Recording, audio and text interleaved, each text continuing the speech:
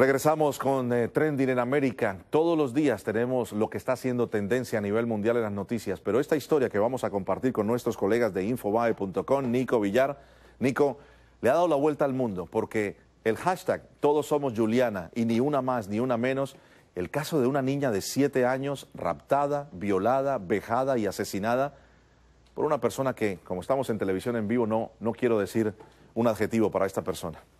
Nico, ¿cómo estás?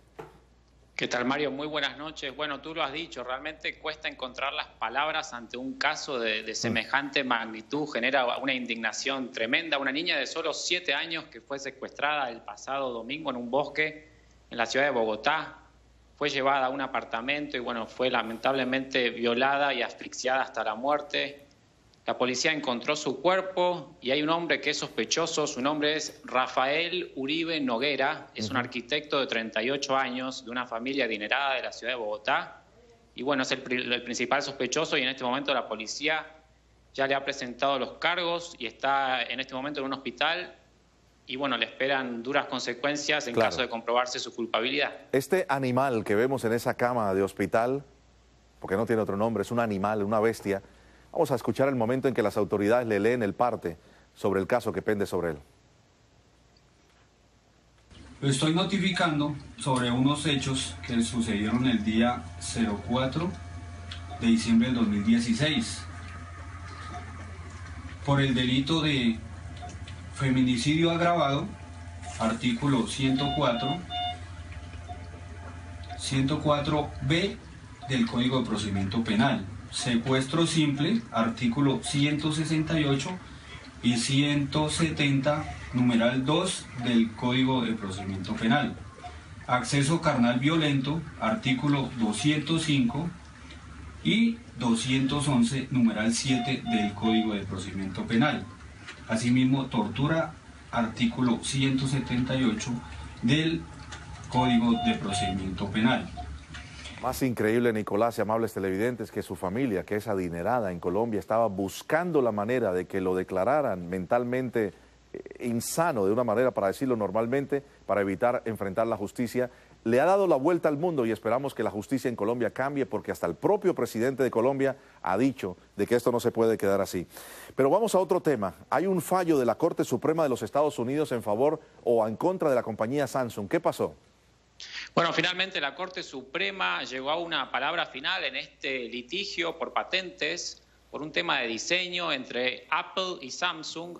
Esto es un enfrentamiento legal que data desde 2011 y en este caso en particular se esperaba que Samsung tuviese que pagar 339 millones en este litigio por un tema de diseño que Apple eh, afirmaba que el teléfono iPhone había sido copiado para crear el Galaxy Ujú. S2 Ahí está. en todo lo que es el diseño de los bordes, del bisel y, el- el- y el- la ubicación de los iconos. Pero finalmente la Corte Suprema ha dicho, mira, en esta oportunidad son simples eh, similitudes de diseño y características muy insignificantes como para otorga- otorgarle la razón Claro. a Apple. Así que bueno, se ha llegado a, a una decisión final. Y como perlita hay que recordar que este es el segundo caso de patentes en más de 100 años que la Corte Suprema ha tenido que lidiar. El último había sido por el mango de una cuchara que se decía que había sido copiado de otra. Imagínense usted. Bueno, no todos son malas noticias para la Samsung. Háblanos de Cristiano Ronaldo. ¿Puede prosperar esto o no? ¿Que pudiera ir a la cárcel o sería un caso como el de Leonel Messi? Un funcionario de Hacienda española dijo que Cristiano Ronaldo podría llegar a tener hasta seis años de cárcel en caso de comprobarse que, bueno, que efectivamente ha efectuado, valga la redundancia, fraude fiscal por la suma de 150 millones de dólares, en este Wow. caso de Football Leaks, que se dio a conocer, a conocer en estos últimos días. Así que está bastante complicado. Cristiano se habla de que si toma el camino de Messi, que Messi en su momento también estuvo implicado en un caso similar. Si Cristiano reconoce antes de que se inicie el juicio efectivamente eh, los cargos en su contra y paga la- la- la- las- sumas pendientes, podría llegar a bajarse hasta en dos grados su, su- su acusación. Así que bueno, seguramente sea Bueno. la dirección que tome. Esperará, esperaremos y veremos, decía un amigo mío.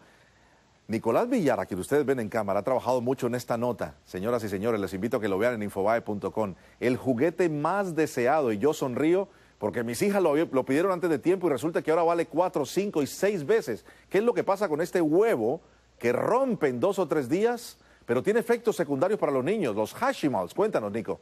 Así es, los Hashimals es un, es un robot interactivo, son estos juguetes que responden a, los determinados inputs de los niños. Por ejemplo, si el niño le habla o le pide ciertas cosas, los juguetes responden como si fuesen unas pequeñas personas. Y bueno, en este caso es el juguete más deseado para estas navidades por los niños de todo el mundo, en especial aquí en Estados Unidos. Sí. Se vende en teoría por 70 dólares, pero se está revendiendo por hasta 500 por la cantidad de demanda.